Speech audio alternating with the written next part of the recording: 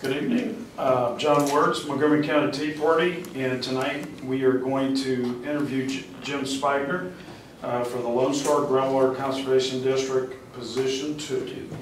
Um, It's September 20th, 2018, and with me are Dell Fessenden, Bob Bagley, Dennis Tibbs, and Pat Tibbs.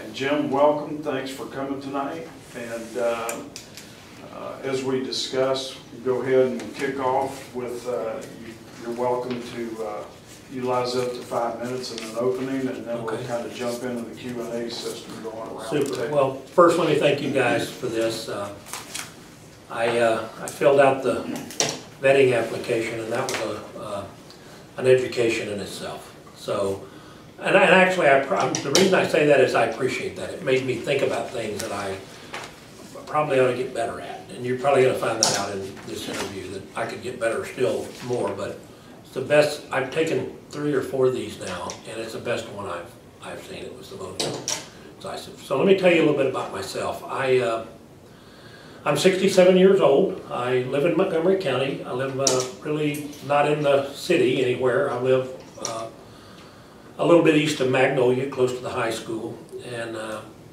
I came here 11 years ago um, from California, was a Texas native, went out there and was held captive for about 17 or 18 years, and then escaped and came back home. And I was enticed to come to Montgomery County, uh, specifically Magnolia, by my daughter who was teaching school there. And we had inherited an 18-year-old granddaughter to raise.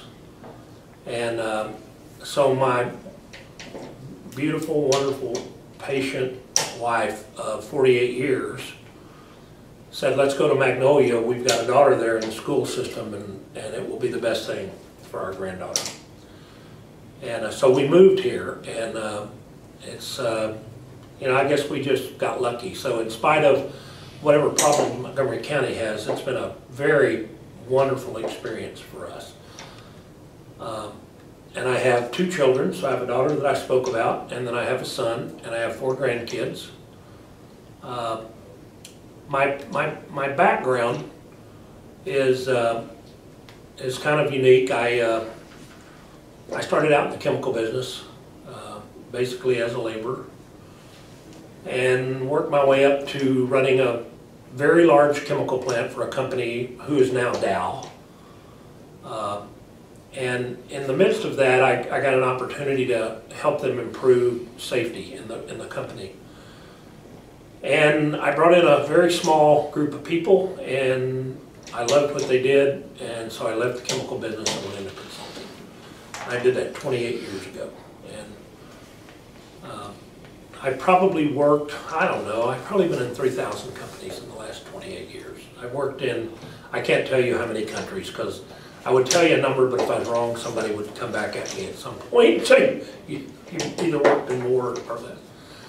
Um, And presently, I, I probably have 30 very senior executives that I coach, from CEO probably down to executive vice president, some of the biggest com- companies in the world. Um, I also do a tremendous amount of speaking. I spoke in Dodger Stadium Monday. Um, So, so I work, this consulting company I work for, we sold five years ago. And they asked me to hang out and be sort of the face of the company and uh, do thought leadership and this kind of stuff. Uh, I like, I like to be outdoors. I'm a, I'm an outdoors guy. I'm a hunter, a fisherman, a gardener. I, I just love the outdoors. That's sort of the stuff I like. And I've been so busy that I, that I really haven't had a chance to get involved in things like this. And just a few years ago, I, I just came to, a- when we sold the company, I'm not gonna work like that anymore. So I have time now. I, uh, I, I probably work about half-time, maybe a little less if I can get away with it sometimes, but. And so I, so I got on the, became the president of the Property Owners Association in Boston Manor. And, uh, it's really basically the only sort of office that I've ever held. Um, I also am uh, on the board of directors of a little philanthropic organization composed of the retirees of the company I used to work for, and we help out the retirees of our, that that retired who either didn't manage their money well or in a lot of cases sadly their kids have stolen their money from them. Um, I'm also on the board of directors of the INGAA Foundation, which is the Interstate Natural Gas Association of America. I'm on that board of directors of that foundation also. Um, I'm chief client officer of the company that I work for. Um, And uh, so that, that's sort of my, I don't, I don't want to dwell too long on this, and I don't want to waste all my five minutes. I want to talk about why I decided to get involved in this. And I, I don't, There's your timer over am I down to two seconds? Hold it. I'll do that in the close. Okay, there you go. Um, So you say you work for a consulting firm now, what, what, just real quick before I jump into some questions, what's the name of the consulting company and what type of work? The name of the consulting company is Dekra, D-E-K-R-A. They're a German company. They bought us out five years ago. Uh, Spell that again, please. D as in David, E as in Edward, K as in Karo syrup, I guess, Okay, R-A. okay, German. And it's a German, they're located in Stuttgart, Germany. And What do they do? And uh, it's an interesting, they're a nonprofit company. They, uh, they started out in the automobile industry trying to make automobile safety in Germany uh, a real thing. Hundred industrialists put some money in a pot and started this company. And over the year, that was back in like 1920. And it has evolved and evolved and evolved and evolved to the point where they have uh, the goal of making the world a safer place, period. And so every penny that they make, they don't take a penny out of this company ever, never have. And every penny goes back into acquiring more resources to continue their mission. So they bought us, and then they have us now out buying companies in North America to, to fulfill this mission. So every penny of profit we make, we make profit, that goes into a pot and then it's used to do. So that's a little bit about them. Okay. What, um, so, in the general sense of questions, and what, and we asked what made you qualified to run this office, and three reasons you believe you're the best candidate for the position. Uh, There's four items you listed, and the fourth is this organization without representation, meaning the groundwater district, Yes. has run roughshod over residents of Montgomery County over water rates. Yep. This unelected group has imposed an oppressive tax on the residents of Montgomery County with highly suspect means. Yes. Uh, I am questioning if the premise of the surface water are even valid in Montgomery County. That's a scathing indictment. Yes. What, uh, tell us a little bit about your knowledge on that and what, you know, just for the folks Yeah. out there, uh, what's going on here? So what happened is in 2001, this thing got formed by the Texas legislature at the behest of somebody. I I don't know enough about that, how that actually, came, but, but it gave birth in 2001.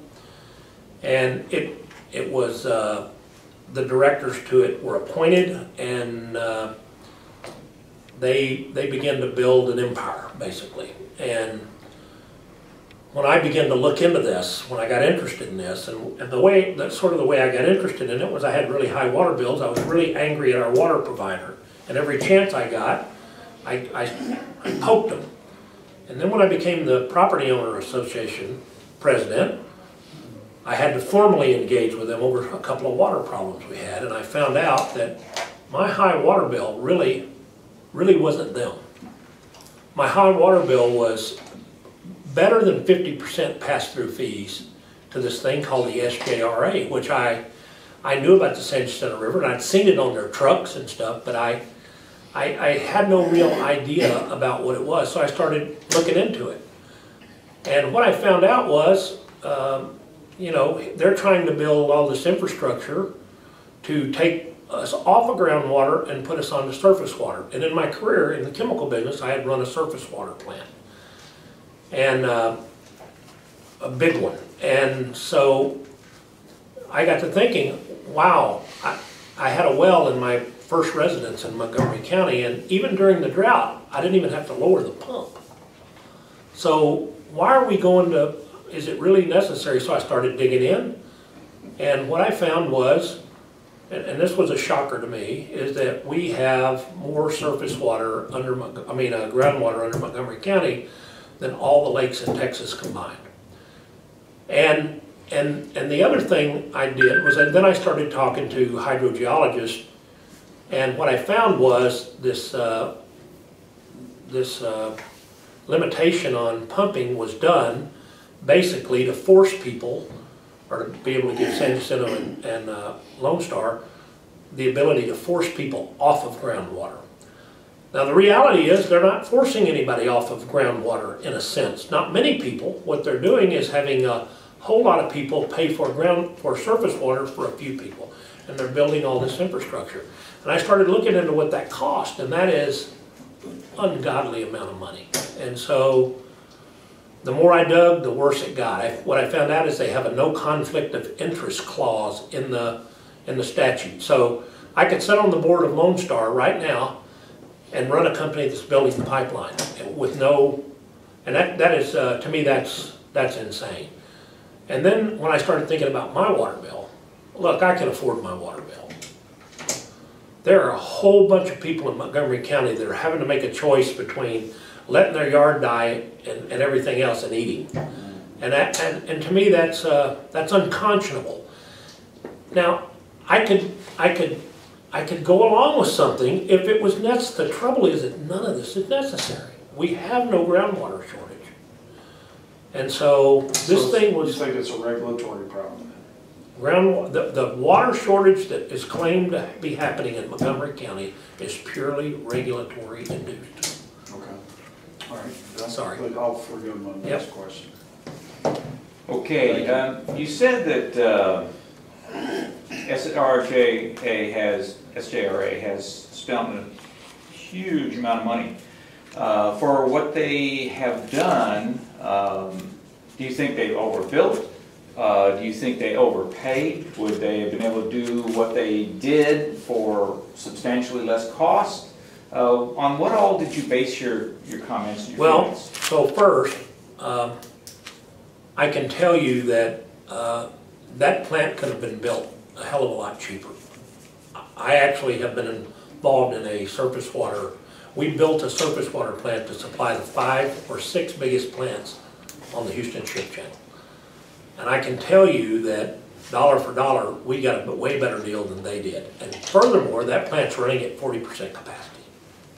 So what was the cost on that again? Do you- Five hundred million dollars on, on Does this that water include the plant. pipeline Nope. too as well? Nope, Five hundred just for the plant? Five hundred million dollars, So the half a one you billion. did, the one you did down in the Ship uh, channel. ship channel, how much? Many years earlier, but we built that plant for less than a hundred million, Wow. way less than a hundred million dollars. And I, I can tell you, I bet you it, right now is producing more water than this one is, because this one's running at forty percent capacity. Furthermore, the pipelines that they built, not only are we having to pay for that, they call it, I just talked to a guy up here who owns a sign boss on twenty-nine seventy-eight. He told me when they built the pipelines, they had to go through the creek behind his house. So they built a road across the creek so they could get back and forth. And while the roads were built, we had that big, uh, May, just before Memorial Day rain two or three years ago. And water came into his house because of it, and they will not even talk to him about it. Wow. So, there's all, I mean, I, I know, I know that in the scope of things, maybe that's small, it's not small to him. Well, normally they talk in court. if Yeah, that's the case. that's, well, that, that's Because his, he's that's what they basically told him. You don't like it, go to court. Huh? That's basically what they told him. Yeah. If you don't like what happened, go to court. S- Sounds like it'll be in line. So, so line yes, behind yes, they overbuilt. Yes, they paid too much. Uh, The reason they paid too much, I believe, is they have a whole lot of this going on. If you start looking with a no conflict of interest clause in their thing, you know they paid too much. And in fact, the guy who launched the bonds to do this ended up with four million dollars, I understand, in his pocket. Who was that? I don't remember the guy's name. Is that uh, a law firm here Yeah. that Yeah, yeah, does yeah. uh, all the All of that stuff. Schwartz, Page, and Harding? Yeah, Michael Page. that's who it is. So when you start looking at all this stuff, you go, holy Toledo, what, what are we, these are people who are supposed to be representing us, and they're not. They're representing their, their pockets, so. That, and it angers me. Yeah, I think that's the same law firm that represents, uh, well, of course, SJRA, at the time, the township, uh, the RUD, the MUDs, Yep, uh, you know, it, Yep. it's never ending, and, and he also sat on the financial review committee for the attorney general. at the, yeah, uh, and, and the interesting thing is, I don't think statutorily, even combining the two agencies, they had the legal authority to create these uh, GRPs and, and hold a gun to these people's heads and force who- hold a gun to whose head? to all the water producers. So you got multiple small water companies, you've got multiple muds, you've got cities, incorporated areas. And what they basically told them is if you pump more than 10 million gallons uh, a year out of the ground, you have to join this GRP and you have to pay these, pass through these fees. So they basically held a gun to their head because most of these people would have gone bankrupt had that stuck and they had no way to know. I mean, that's a big gamble. You know, you, you spend six months fighting in court and you lose at ten thousand bucks a day, you're bankrupt, you're So- done. So they, so they raised everybody's rates to pay for that. They, they, well, they put those pass-throughs, Yeah, that's what they which, did. which caused everybody's rates. Causes to their rates to double, double, yeah, yeah. Bob?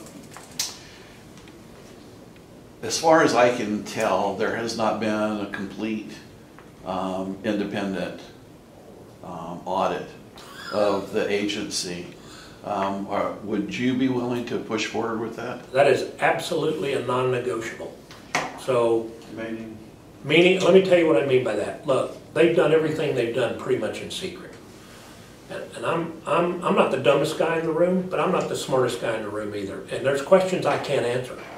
And until we get an independent, third-party outside audit of what's going on here. See, I think we need a legal audit too, to tell us what our, what are, what authority do we have to start unreeling some of this stuff that's already been, the, the cat's out of the bag? Can we do any of that?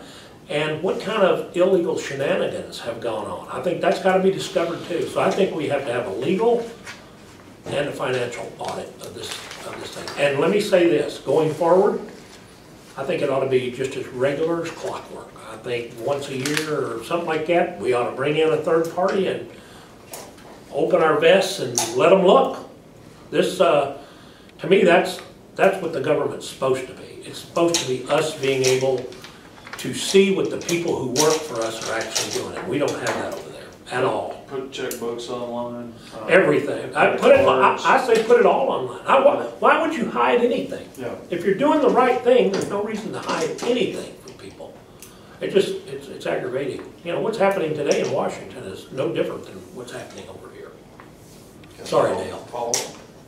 Well, I was gonna say, you, you mentioned, uh, that's what the government ought to do. I don't know what experience you may have with either running or being part of any elected office or ever having worked at I a government job? No, okay. I don't, but I've, but I, but I've, I've helped build and run this business, and I can tell you this.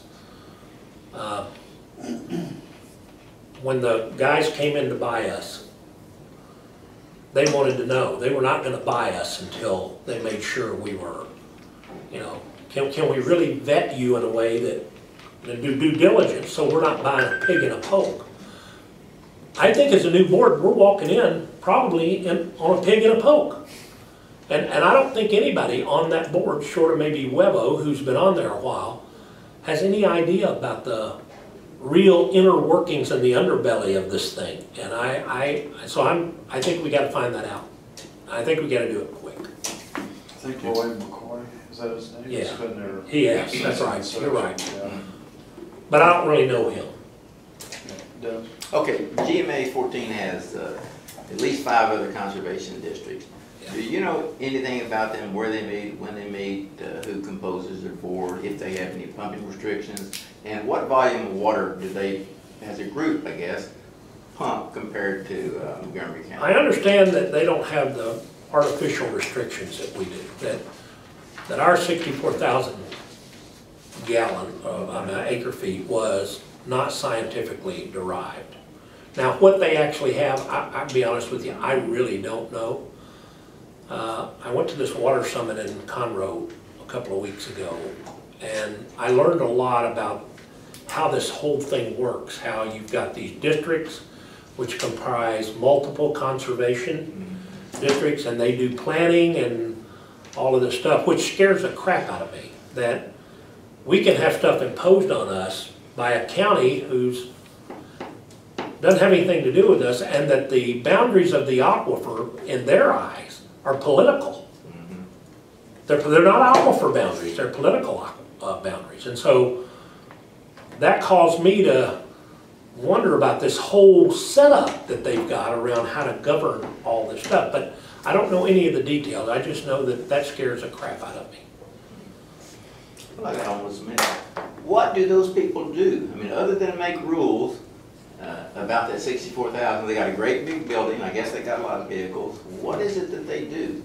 I can't really tell you what, I can tell you this, they don't take care of the vegetation outside their building.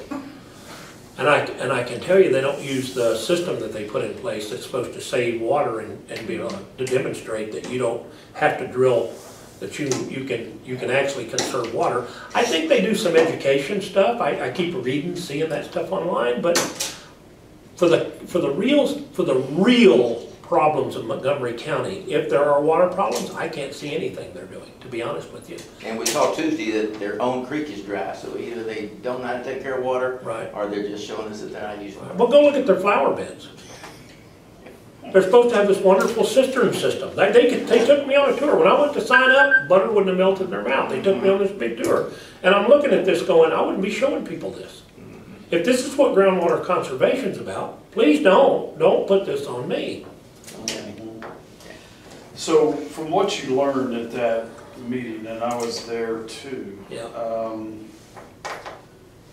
And, and your takeaway from that, and knowing what you learned, what's your strategy for assuring the most affordable and sustainable water supply?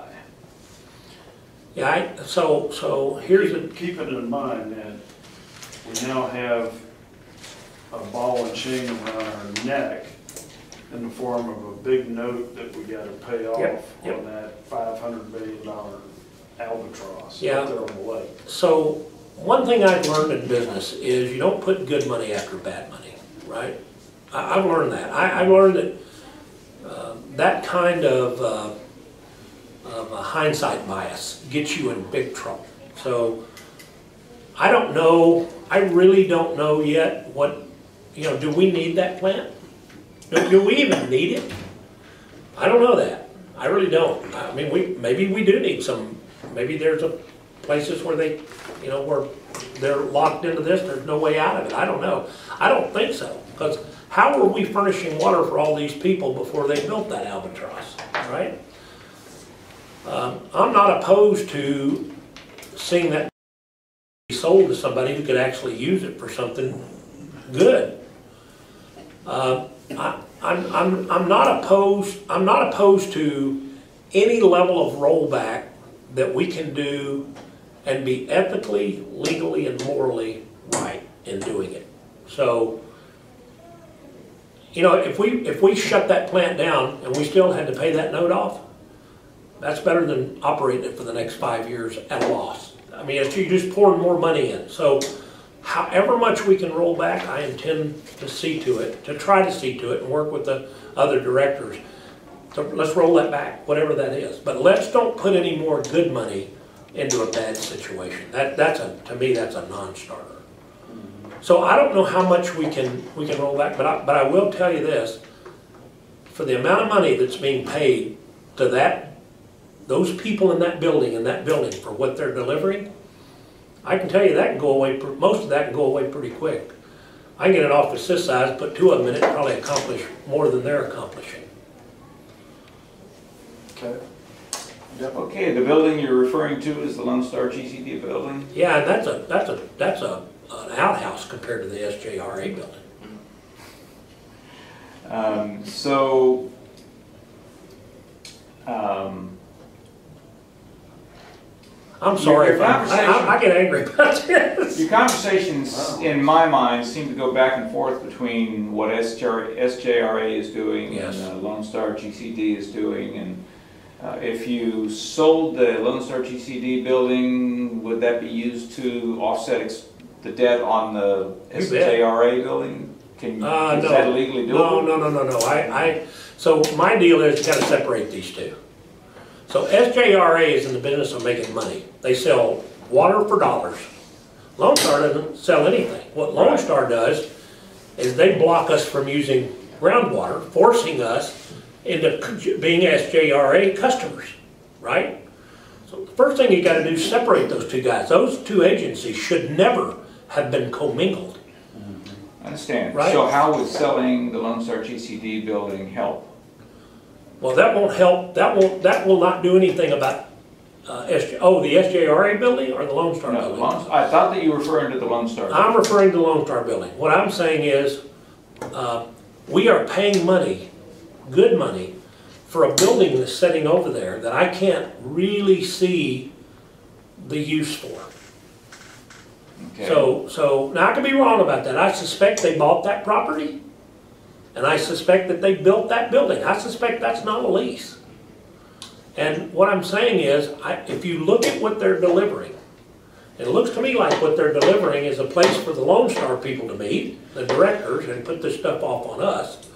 And then there's some minor educational stuff that I see going on there. So how would selling that building help with the SJRA? I don't think it will help with the SJRA. So I think it's two separate issues. So I would sell the Lone Star deal to help take down the debt, the bond debt, if I had to, or whatever, whatever debt I could use it on, get rid of that, that directly affects the residents. Let SJRA pay for their own stuff, but let them figure out how to go out and gin up customers on their own instead of using Lone Star as a, uh, uh, a hired gun to create an environment where they can force stuff on us. Let SJRA go take care of their own self. Uh, I can't do anything about SJRA as a Lone Star board member. But What I can do is I can push them away from the table and say, you don't belong at this table, go away. And no longer, and I can change, I believe, in fact, I know we can change the rules to say, these artificial uh, groundwater uh, protection groups, we don't need them. We're gonna get rid of that regulation. And that, my friend, cuts the knees right out from under SJRA. Because without that, they don't get any pass-through. Okay, Bob? Have you had a chance to look at the budget yet for the upcoming year? No, I haven't. I have not, to be honest with you. And let me just tell you why, why I haven't spent a lot of time on that. If everything is as crooked as I think it is, that budget is, to me, is, is meaningless. I mean, it, it's, I can already assume that I, I would probably disagree highly with it. Because I can already tell you they budgeted for that building. I can already tell you they budgeted for all those trucks. I can tell you there, there's all kind of, without even looking at it now. And until we get an audit also, I, I just, it's just hard for me to get over the details. My focus right now is to win this election. And, and, because nothing's gonna change if those guys stay in power. It's just, it's just that simple, or one of their minions gets elected. And so I'm, I'm one hundred percent focused on that right now. And some of these details, I wish I had time to get to all of them, but I, but I, but I just haven't. And, uh, and I'm not gonna, I'm not gonna say I have, so. How is it that Kathy Jones became the manager of GMA fourteen and under a new board where anything related to, to GMA fourteen gonna change? Does, does the Lone Star Board have any input to the construction of GMA fourteen? Well, I don't think Kathy Jones likely to have a job, to be honest Oh, she wouldn't be an employee? Yeah, Okay. she may have a job, but she ain't gonna have that job. So, so, so, let me, I'll just be straight up about it. I don't think anybody over there, except maybe a low-level administrative staff who have jobs, I don't think they can stay. I, I mean, they've been in this thing up to their eyeballs, and Kathy Jones for sure has been one of them in their up, up to the eyeballs, so, um, you know, You what know, else we can do about that? You know anything about the GMA board or how big it is or how their people? I don't know how big it is, but it's, it's, uh, it's not small. Is it appointed? I think most of it is appointed, yes. Don't, don't hold me to that, that all of it is, but I, I think most of it is. Well, let me ask you about subsidence. You know, when you, when you finish talking about running out of water, everybody says we need all this because of subsidence. Yes. And people in the woodlands claim that they have subsidence. And I'm guessing that if people measure subsidence, they've done it for a decade or two. Do you know anything about what's happening in Montgomery County and specifically in the woodlands? So I do know a little bit about that. Um, I can tell you that in Montgomery County in general, there has been no evidence of subsidence. Now, that doesn't mean there hasn't been some subsidence in a couple of places. And, and the bottom half, bottom part of the county, the very southern part of the county, there are a couple of places where it's, it's highly likely that there has been subsidence. I haven't measured it myself, but everything that that I can read on it says there has been. Now, in the one place where everybody agrees there has been subsidence, uh, Harris County or the city of Houston put in some pretty serious wells in the shallow part of the So I lived down on the, on the coast and we had subsidence. We had a horrible subsidence. But they were pumping out of the Chicot aquifer. And, and they were pumping pretty shallow well, level wells. And you can cause subsidence. The groundwater in Montgomery County that most people are taking water from, the large amounts of water, are out of the Jasper aquifer. And so, number one, that thing is chocker blocker full. It's chocker blocker full. And if you asked any hydrogeologist, is the aquifer full? Or is the aquifer depleting in actual amount? That They'll, any of them that'll get on a stand and raise it, will tell you, yeah, it's full. Uh, But when you get down on the Gulf, down closer to the Gulf Coast, they pumped out of the shallow layers, and they did cause, and I mean, I'm talking about big chemical plants, that's the reason we put in the surface water plant. And they did cause some subsidence, and so I, the Harris County, I believe, wells over on the, on the, uh, or Houston, over on the edge of Montgomery County, pumping out of, who are shallower wells, I think have probably caused some of that subsidence. And we know in Houston, there are areas where there is dramatic subsidence, but once again, they're pumping out of the Chicot aquifer. You can go places and see pump slabs that are this far off the ground. But you can't find that in Montgomery County Anyway, There's wells here that have been pumping for fifty years, and the slab is still firmly on the ground. It is not, and right there where the well is, which is where the pressure is gonna be the least, Talking about flush with the ground. flush with the ground. Right. So, so when, when people talk about subsidence here in Montgomery County, it's, it's not a problem. Not a problem. So the, um, uh, one of the questions, general questions was how much subsurface water is contained under Montgomery County? Hundred eighty-three million acre feet. Okay, so as in oil and gas, we always look at, you know, that's in place. Yeah. But there's also what's economically recoverable. Yeah, What so, percentage? so clearly not all of it is. We know that, just like in oil and gas.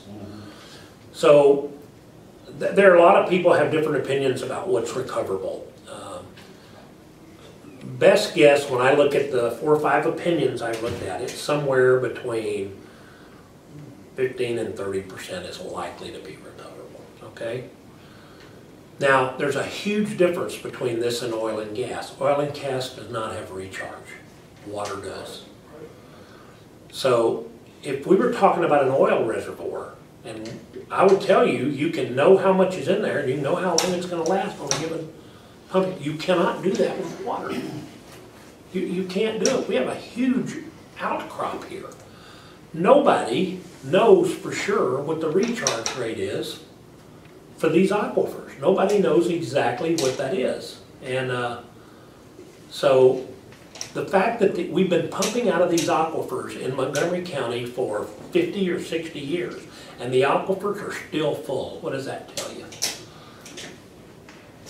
Are you aware, has, has anybody uh, modeled this with uh, 3D, which is uh, static modeling, or 4D, which is dynamic modeling, which would show the recharge, would show the water in place and the recharge? Well, I know that they, I know that they, they, they do know, they do have a way to know uh, and I, I don't know what kind of modeling they would use but I, I do know they know the aquifer. You won't find one hydrogeologist who will raise, swear in front of a, on a stack of Bibles that he's telling the truth and tell you that the aquifer is, is depleting, is being depleted from, with water, if they're full.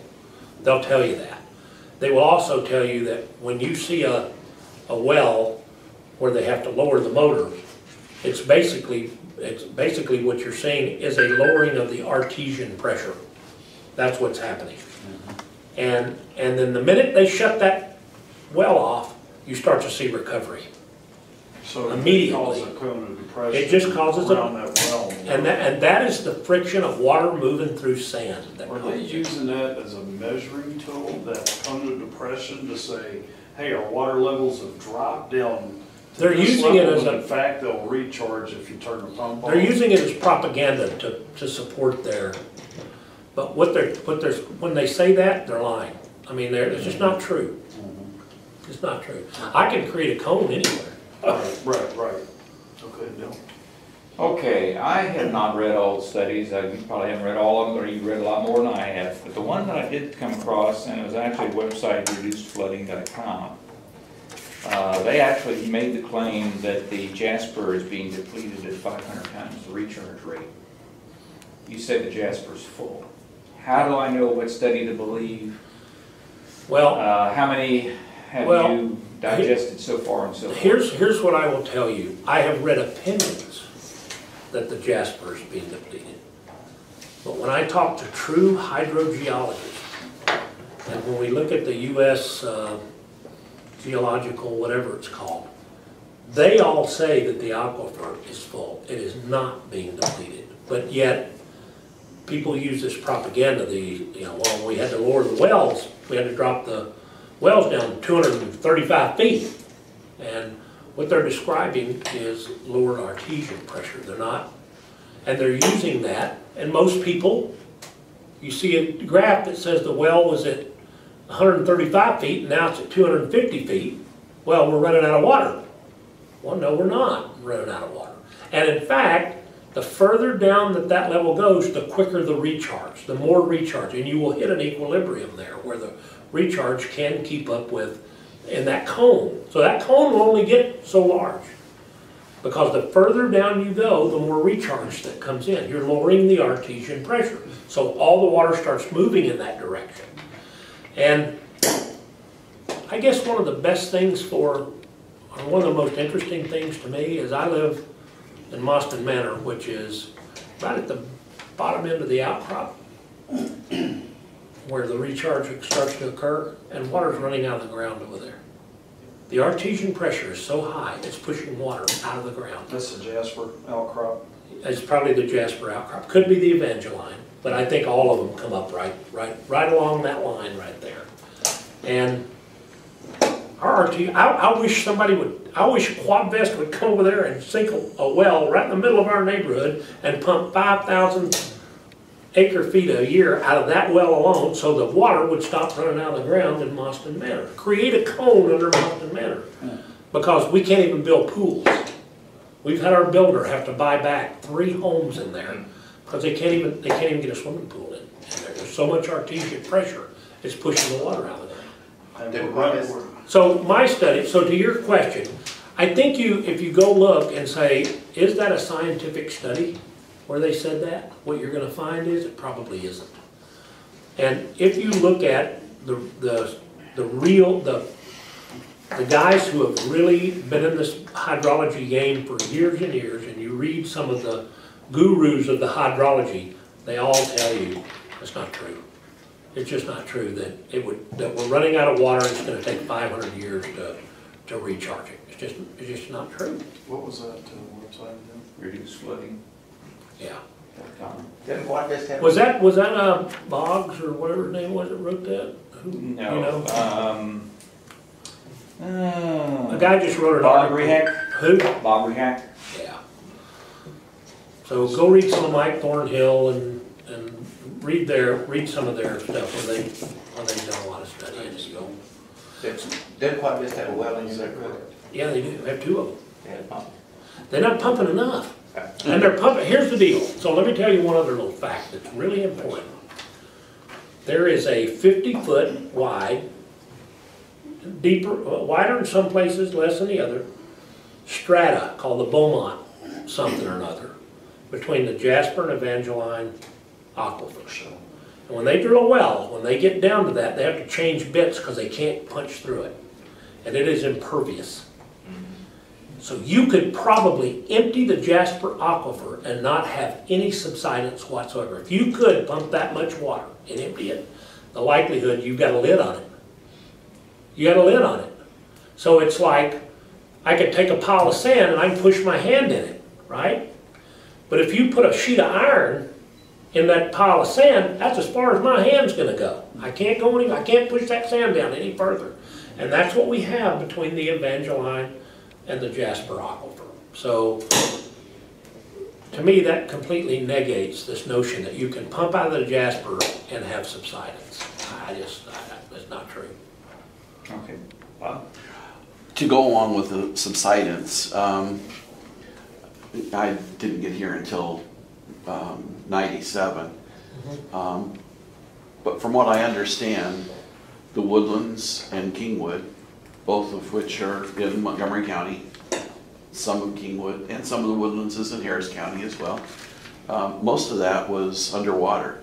It was wetlands. No doubt. And they brought in millions of tons of soil to build it up. I actually watched them do that in Kingwood. Did you? Now, I didn't, I didn't see it here, because I didn't, I used to live in Crosby, and we moved to Atascocita, which is right next, and I watched them. We had once, once thought about moving over there. I'm not a geologist. Um, I, I know that, I understand, I don't know for a fact, that there's, um, two faults in, in the woodlands. Um, with the shifting of a fault and just with shifting of soil in, in its own self over the years.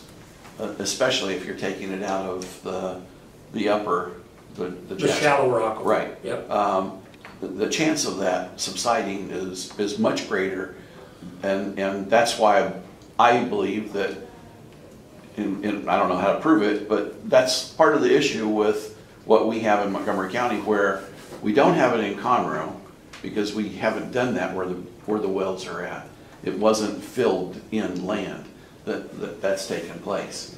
Um, Your thoughts? Do you think Well, that's a I, I, I don't, possibility? I don't doubt that, I don't know that either, I can't, I can't testify to that, but I can tell you that, for example, in our neighborhood, they came in, as they built every single house, they scooped out the lots eight feet deep, took that nice topsoil away, and came back with pure clay.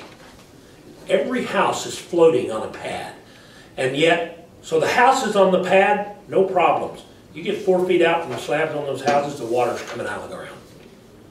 And so the builders in Montgomery County are, are, and I'm assuming the Woodlands, had to monkey with this stuff because we really do have a situation where the artesian pressure in, in, in a lot of this county is higher than the ground level is. And so the only way you can deal with that is either build the ground up a little higher or put it on an impervious slab. And in the case of Mostyn Manor, they built clay dams, is what they built. They set the house on top of the dam.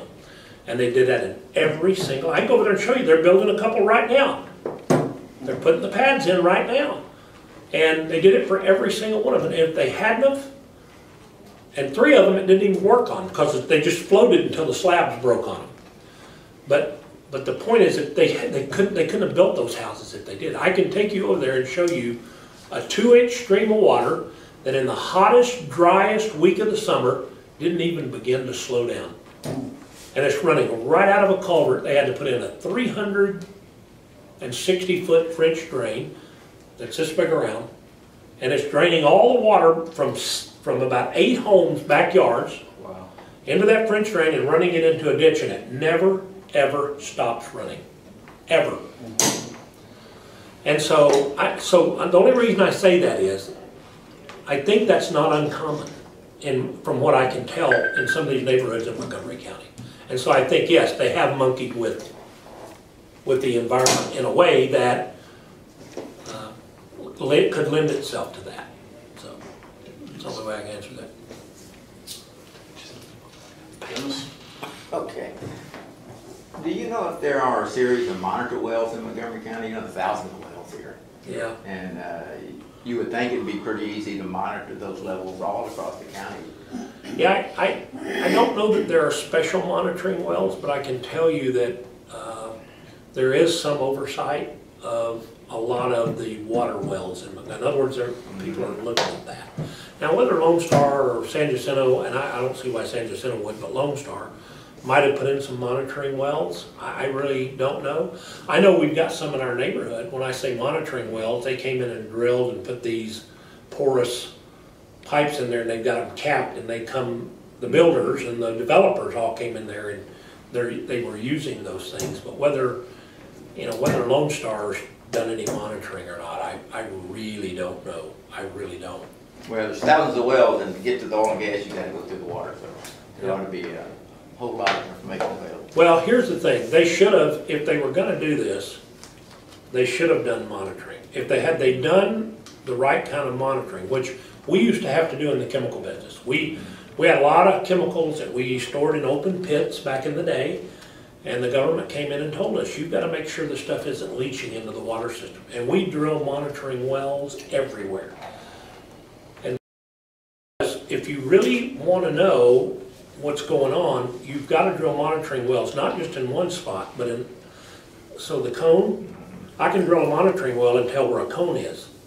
I could also look at the water well there and tell that, but I could also go outside of that area and drill one and say, ah, it is a cone. So I have much higher artesian pressure here than I do here, but I've got a well here and I don't have one here. So they could have easily proved whether this is a emptying of the aquifer or a cone of a reduction of pressure issue. And I, I, so if they have them, that makes it even worse. Yeah. Well, one of the guys on the board is in the water well business, right? So he should, Yeah. and, and I've walked hundreds of wells in this county. Yeah, And that ought to be pretty easy to come across. it ought to be. It, it, it ought to be, you're right. And, and I can tell you this, if one of the guys on the board has a well company, I can bet you that Lone Star has a bunch of monitoring wells. Well, isn't that the Wysinger that drills water wells that's on the board? Or maybe Yeah. it's Danny? Yeah, yeah, yeah. Yeah, he's pretty. Uh, there's, there are people on that board that have relatives with engineering companies that have worked, eh, And John Blau was an engineer. yeah. So- Another problem, huh? Okay. So, all right, so last question, all right. uh, and then we'll do the re, your, your four-minute closing, or Yep. five-minute closing, I'm sorry. Uh, okay, So, in one, one of your, in the other category, the question was, what political party have you affiliated with over the last twenty years? Do you believe in the party platform, all of it, or percent, part, if percent, what, describe what you disagree with? You said you affiliate with the Republican Party, you probably agree seventy-five percent of the time. The spending is too high. Yep. You said there's too much power invested in the top leadership of the party. Yep. Can you explain that? Is there too much power in the RPT chair, in the SREC, or where? Where, I- what are you referring to? Well, so, so, I didn't, I, I knew at a national level, there was too much power when Paul Ryan and Mitch McConnell can do some of the shenanigans they've done. That's? So, so I knew at a national level it was a problem. I also knew at a state level it could be a problem. I've seen, I didn't know, like I said, I, I, I really am remiss in my knowledge of local government. I haven't been, I'll just be honest with you, I hadn't been minding my P's and Q's. And then I went to this meeting in Conroe the other night, and, and I watched an abuse of, an attempted abuse of power that was scary. I watched the chairman of the Republican Party try to bring in an outside person to help him achieve, I don't know what goal, I don't know, I mean, I don't, I, I still don't know enough to know, except to keep him, I guess, in power, or keep him whatever. And a duly elected parliamentarian was kept from doing his job. And it got so, con- and, and bless the heart of a bunch of those people who, who really, It was like buttering a wildcat's ass with a hot knife. He, uh, they, they had him upside down. And even the constable, David Hill, tried to get involved. And he got shouted down. He got by the, by, I guess, by the precinct chairman. And finally, this guy gave up and, and abandoned the podium. And young guy that I met not long ago and, and, and really liked and, and I've had a lot of conversation with, he's helped me a lot, is, is Reagan Reed. And he stepped in and took the meeting over. And then things began to move forward. But I mean, they literally wasted the time. He, that man wasted the time, hour and a half time of literally two hundred people. And, and that shenanigan, that tells me that the power that's invested at the top of this thing is just, it's got, it's gotta go. And, you know, that's just one example of it. But, but I also see county commissioners and people like that who really don't, they're not doing what they ought to be doing. When I look at the appraisal district and I find out that they're actually, I guess, appointed by or, On the board. yeah, and I, and I'm like, are you kidding me, really? Yep, Fox Gordon. So, so we have a, we have, we, we have the same problem locally, maybe worse because you're, it's more intimately connected, but it's the same problem I see in Washington DC. It's a class of people who become political elites and, and, and see themselves as some sort of privilege. I'm, so let me just tell you my, oh, I'll tell you my closing. That's, so that's my answer. So they're Republicans, but they behave like Democrats. Or worse, crooked, Crooks. crooks. Yeah. They're the, it's a mafia. And I, and I, and, and I, it's just wrong. It's just wrong. Well, go ahead and take, uh, we got. Five minutes, four minutes? uh, Five minutes. Three. So, so what I wasn't able to do in my opening, let me, let me close with, so there are, there, there are multiple issues here that I have become passionate about. And, and let me first say this, that by getting engaged in this the way I have, it's opened my eyes to the issues that we've talked about here around the politics in, in this county.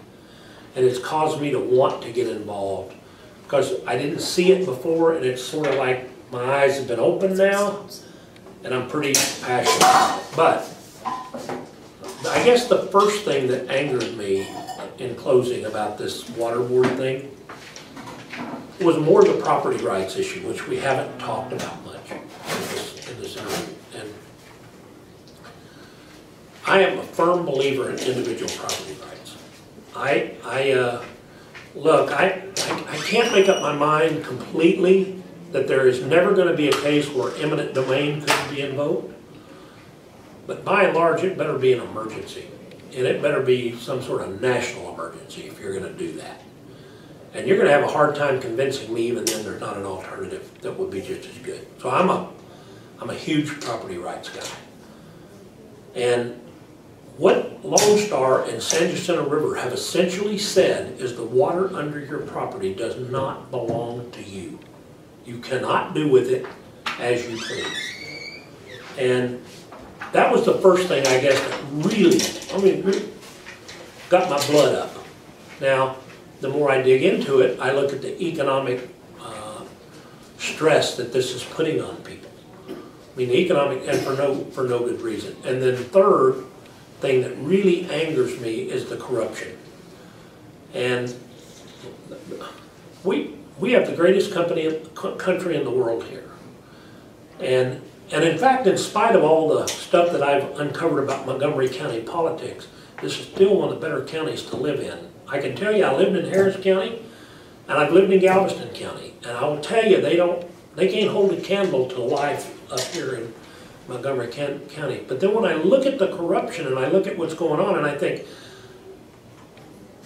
how good could it actually be? Now, that scares me a little because I don't want the whole world moving up here at the same time, but, but by the same token, when, when you put those factors together, the fact that individual property rights are being eroded, Number two, there's a willingness to, without uh, representation or transparency, to be able to tax people to the point of, of hurting them.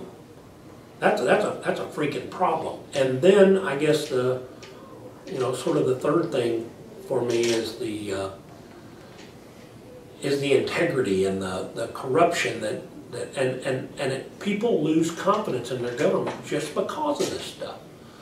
And I, I think we can change that. I really, I think this board has the opportunity, if, if the seven guys that are running for the board that, that I affiliate with, that I, if they win this election, I think we have the opportunity to show the county something. To show that you can get people in there who are willing to be completely transparent, open, and who will actually do more than be transparent, actually reach out and try to understand what the community really wants and needs, and get them engaged. And I don't see that happening. I mean, I just don't see it happening. So that's, for closing, for me, that's, that's the reason I'm in this race. That's the reason I chose to do it. And I, so far, I have not taken a penny from anyone. I've spent all of my own money on this. So this isn't an issue where I didn't take this seriously. And I, and I'm not asking, I got a donation thing on my, I haven't taken one donation because I haven't had to spend more money than I can swallow right now. But I, uh, you know, I, I'm, I'm trying to do this in the, in the, in a way that nobody, nobody owns me. And, and Eric Yollick said something to me that, that stuck with me. He said, I'll tell you what I fear. I fear that you get up there and one of these guys puts their arm around you, and the next thing you know, before you even realize it, you've moved. And that's, that, that, that stuck with me. And I, and I see how that happens to many of the people who are up there, many of them. Even good Republicans who went up there to be good Republicans are now less than good Republicans because exactly of that. And, uh, anyway, that's, that's my close. All right, well, thanks very Yep. much, and appreciate you coming in. I appreciate you guys doing it, you, uh, and I like, and I enjoyed the questions. I, uh, I, they gave me a couple of things I gotta go dig into a little